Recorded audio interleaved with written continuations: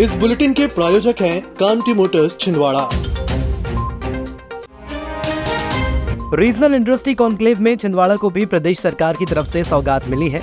CM doctor Mohan Yadav ने छिंदवाड़ा और पांडुना ज़िले के औद्योगिक क्षेत्रों में पाँच इकाइयों का लोकार्पण किया तो 10 उद्योगों का शिलान्यास किया। जिन पाँच इकाइयों का लोकार्पण किया गया, उनमें पाँच सौ उनसठ करोड़ रुपए का निवेश किया गया है। सांसद विवेक बंटी साहू ने कहा कि संसदीय क्षेत्र में 15 नई इकाइयों में पाँच करोड़ का लोकार्पण और भूमि पूजन मुख्यमंत्री जी द्वारा वर्चुअल किया गया है। इन उद्योगों के माध्यम से 1450 लोगों को रोज़गार के अवसर पैदा होंगे। मौसम में हो रहे परिवर्तन के चलते आम जन पर विपरीत प्रभाव का असर देखने को मिल रहा है। डेंगू और मलेरिया के साथ बुखार और सर्दी के मरीजों में दिनों दिन इजाफा हो रहा है। इसी को लेकर शासकीय और निजी अस्पतालों में मरीजों की लंबी कतारें लग रही हैं। ज़िले में डेंगू के हालात ये हैं कि बीते 20 दिनों में चौंतीस पॉजिटिव मरीज़ मिले हैं। तो वहीं पाँच डेंगू पीड़ितों का इलाज जिला अस्पताल में जारी है। डेंगू को लेकर स्वास्थ्य विभाग के अमले ने अलर्ट जारी किया है। इसी के संबंध में आज सुबह सांसद विवेक बंटी साहू ने जिला अस्पताल पहुंचकर डॉक्टरों की टीम से डेंगू की व्यवस्थाओं को लेकर जायजा लिया है। कुंडीपुरा थाना क्षेत्र के सारना बाईपास पर अज्ञात लुटेरों ने बाइक सवार से लूट को अंजाम देकर फरार हो गए।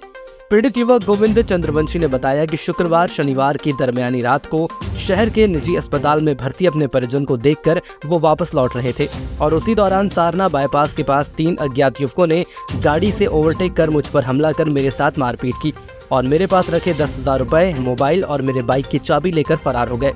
सुबह जब मुझे होश आया था तो मैंने थाने जाकर अज्ञात लुटेरों के ऊपर एफआईआर दर्ज कराई। वहीं इस पूरे मामले पर पुलिस के ऊपर भी सवालिया निशान खड़े हो रहे हैं। लगभग एक माह पूर्व भी इसी जगह पर लुटेरों ने लूट की घटना को अंजाम दिया था। फ़िलहाल पुलिस द्वारा मामले की जाँच की जा रही है। मलिक नर्सिंग होम गया था खाना देने के लिए। वहाँ खाना दिया, खाना देकर मैं घर जा रहा था।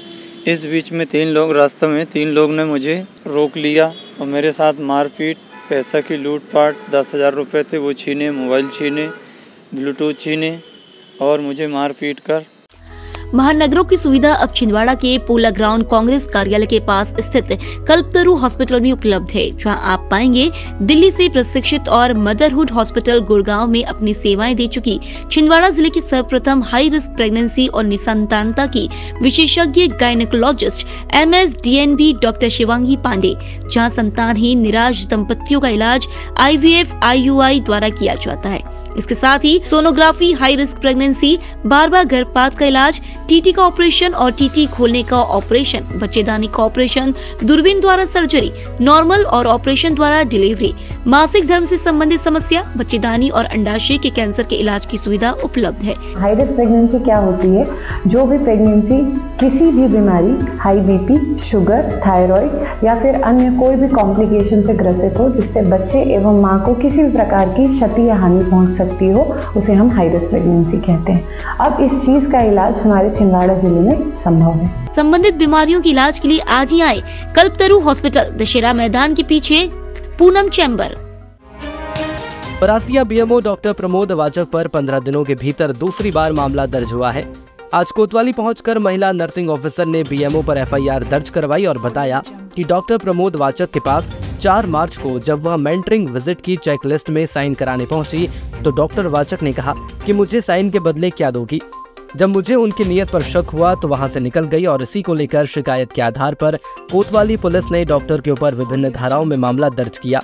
बता दें कि कुछ दिनों पहले महिला चिकित्सक ने भी बीएमओ के ऊपर गंभीर आरोप लगाते हुए मामला दर्ज करवाया था। मेंटरिंग विज़िट में मुझे सी बी सर के साइन चाहिए होते। हैं तो मैं उन, मैंने उनको कॉल किया, मैंने कहा, सर, मुझे आपकी साइन चाहिए, आप कहाँ पर हैं? तो उन्होंने कहा कि मैं अभी सीएमएचओ ऑफ़िस में हूँ, आप वहाँ आकर मुझसे साइन ले लीजिए। चेकलिस्ट उनके आगे पहुँचाई तो उन्होंने मुझे तो पहले बहुत गंदी निगाहों से देखा, उसके बाद फिर मुझे कहा कि साइन के बदले मुझे क्या दोगी? मुझे भी तो कुछ चाहिए होगा। तो मैंने एकदम घबरा कर पूछा कि, सर, आपको क्या चाहिए? मुझसे पैसे चाहिए क्या? उन्होंने कहा, पैसा किसको चाहिए? तुम तो समझदार हो, मुझे क्या चाहिए? तो उस, इस, ऐसा बोलकर मेरे नज़दीक आने की कोशिश किया और मेरा हाथ पकड़ा। तो फिर मैंने मैंने डर के मारे, फिर मैंने बोला कि, सर, मेरे मामा जी बाहर खड़े हैं, आप जल्दी साइन करिए, मुझे जाना है। तो उन्होंने वो भी डर गए कि, अरे, इसके साथ कोई आया है, अकेली नहीं है। तो उन्होंने भी तुरंत साइन किया और मुझे चेकलिस्ट थमा दी और मैं वहाँ से निकल गई। जैसी भी निकली तो मैंने अपने कलीग्स को, अपने फैमिली मेंबर्स को इस घटना के बारे में बताया। मध्य प्रदेश के पूर्व मुख्यमंत्री कमलनाथ व पूर्व सांसद नकुलनाथ ने जिलेवासियों को गुरु पूर्णिमा की हार्दिक शुभकामनाएँ देते हुए कहा कि हमारी संस्कृति में गुरु का अहम स्थान माना जाता है। माता पिता के बाद गुरु ही सबसे बड़े मार्गदर्शक हैं। सार्थक व सफल जीवन के पीछे उनका आशीर्वाद है। मध्य प्रदेश के पूर्व मुख्यमंत्री कमलनाथ ने प्रदेशवासी एवं जिलेवासियों को गुरु पूर्णिमा की हार्दिक शुभकामनाएँ दी हैं। छिंदवाड़ा शहर के प्रथम एमडी छाती रोग विशेषज्ञ मेदांता हॉस्पिटल गुड़गांव से प्रशिक्षित डॉक्टर मनोज किनकर अब छिंदवाड़ा के कल्पतरु हॉस्पिटल में सेवाएँ दे रहे हैं। जहाँ पर एलर्जी, अस्थमा, टीबी, सर्दी खांसी बनी रहना, खांसी में खून आना, BP, sugar, asthma, sleep apnoea, pneumonia, फेफड़ों में पानी भर जाना और सिकुड़ना आदि रोगों से पीड़ित मरीजों का इलाज पल्मोनोलॉजिस्ट के द्वारा किया जा रहा है। सामान्यतः देखा गया है कि कोविड 19 के बाद मरीजों में छाती रोग की जागरूकता बढ़ी है। इसीलिए अब एलर्जी एस्थमा दमा, टीबी, निमोनिया, सर्दी खांसी, बुखार और छाती में पानी भरने जैसी समस्याओं के लिए आपको घबराने की कोई ज़रूरत नहीं है। अब कल्पतरु हेल्थ केयर में इन सब की इलाज संभव है। संबंधित बीमारियों के इलाज के लिए आज ही आए कल्पतरु हॉस्पिटल दशहरा मैदान के पीछे पूनम चैम्बर। ब्राह्मण समाज कल्याण मंडल द्वारा आज समाज के निर्माणाधीन भवन प्रांगण में एक पेड़ माँ के नाम अभियान के तहत पौधारोपण किया गया।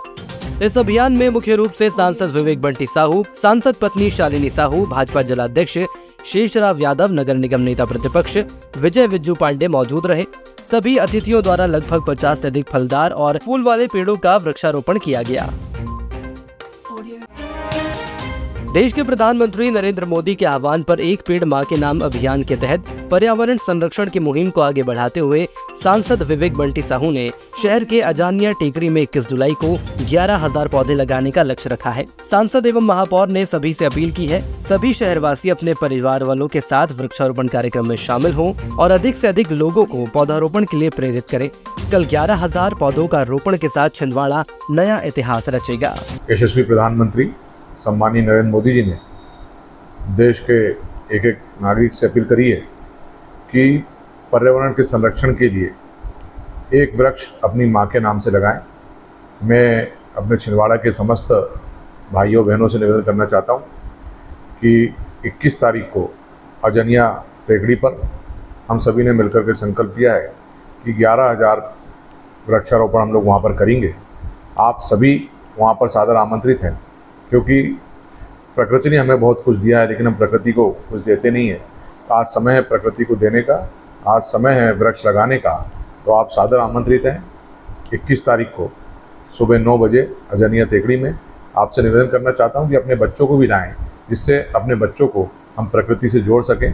आ, समस्त शहरवासियों को सूचित किया जाता है कि हमारे देश के यशस्वी प्रधानमंत्री आदरणीय मोदी जी के आह्वान पर एक पेड़ माँ के नाम जो कार्यक्रम चल रहा है उसमें हमारे छिंदवाड़ा ज़िले के लोकप्रिय युवा सांसद आदरणीय विवेक बंटी साहू जी ने अनुकरणीय पहल करते हुए लगभग आज़ादिया टेकड़ी में ग्यारह हज़ार वृक्ष लगाने का प्रण लिया है, जिसमें हम आग्रह करते हैं समस्त शहरवासियों से, समस्त सामाजिक संस्थाएँ से, समस्त शैक्षणिक संस्थानों से कि अधिक से अधिक संख्या में अजनिया टेकड़ी पहुंचकर कुसमेली मंडी के पास पहुंचकर वृक्षारोपण में भाग लें और छिंदवाड़ा को ग्रीन छिंदवाड़ा, क्लीन छिंदवाड़ा बनाने में सहयोग